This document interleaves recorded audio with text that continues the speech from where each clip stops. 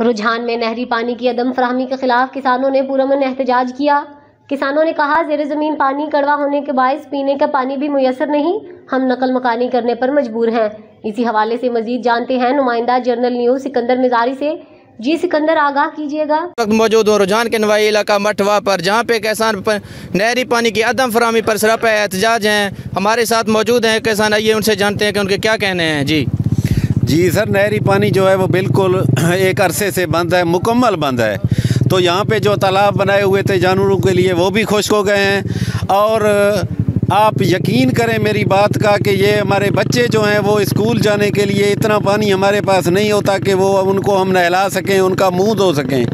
हमारी मैतों को गसल देने के लिए हमारे पास पानी नहीं है। मसाजिद में के लिए पानी नहीं है। इतना जुल्म हमारे साथ हो रहा है कि ये हम, जहाँ इस वक्त आप खड़े हैं, ये दरियाए सिंध से सिर्फ़ 10 किलोमीटर फासले पे है ये। दस किलोमीटर के फासले पे हैं हम दरियाए सिंध से। हमारी ज़मीनों का सीना चीरते हुए सिंध जो है, दरियाए सिंध, वो नीचे जाकर इलाकों को सैराब करता है, पीछे इलाके आबाद हैं और हम जो हैं दरिया के किनारे लावारसों की तरह हमें प्यासा रखा गया है।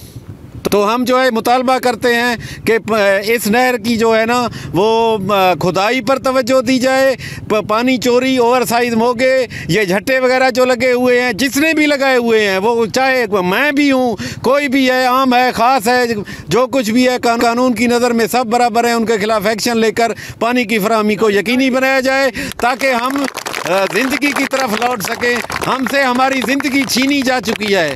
हम जानवरों से बदतर ज़िंदगी गुजारने पे मजबूर हैं। जी, बिल्कुल। जैसा कि आपने सुना, इनके वाला हुक्म से अपील है कि हमें पानी फराम करने के लिए जल्द से जल्द कोशिश की जाए और हम मुआशी बदहाली से बच सकें। जी।